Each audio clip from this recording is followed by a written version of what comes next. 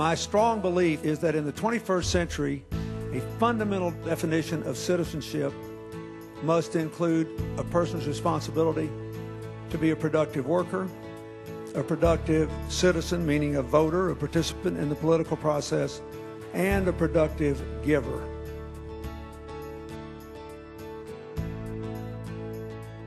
We had an interesting idea that we could get together and discuss some of the major problems facing the world, and that at the end of this process, every person who was at the meeting would make a commitment to actually do something about it. My commitment committed to the commitment our commitment. My commitment. We have a committed uh, we have built a school where there's no electricity and water using solar panel power satellite dish. Can you help me realize my dream?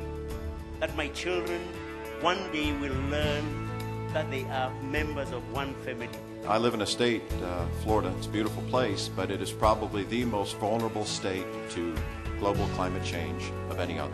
And because of what you're doing here and what Florida Power and Light is doing, it's making a difference. It's making the world better, and it's helping my state. These collective commitments will restore or protect more than 170 million acres of forest, 400 million gallons of clean water. They give 50 million people around the world targeted treatment for neglected tropical diseases.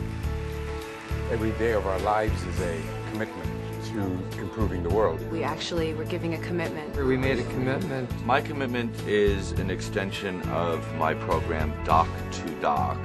We're producing a duffel bag that we're going to fill up with medical supplies that are perfectly selected for rural health care in developing countries. Just to think about where we would be without the Clinton Global Initiative is extremely hard to do. It gave a neighborhood the realization that it had not been forgotten or abandoned. Citizens coming together, taking action. That's what we want more of from the young people of America and the world. And that's why we're going to expand the idea of the Clinton Global Initiative to CGIU.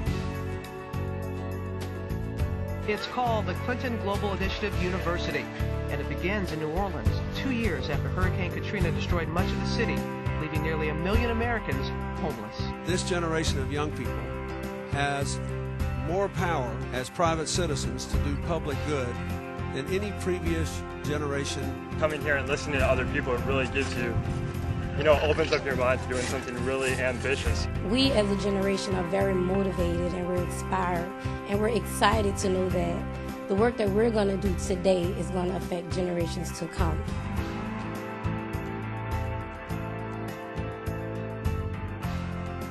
I'm very happy because I heard CGI will go to Asia next year. We want to begin to have meetings in other parts of the world to focus on the unique opportunities and responsibilities there.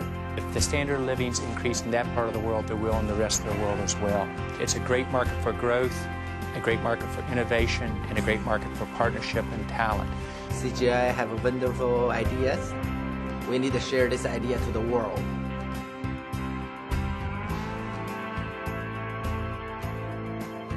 This year we set up a special website called mycommitment.org. Even more than Bill Gates and Warren Buffett or a former president, if just citizens, working people decide at the same time that they're going to solve some problem, they have more power.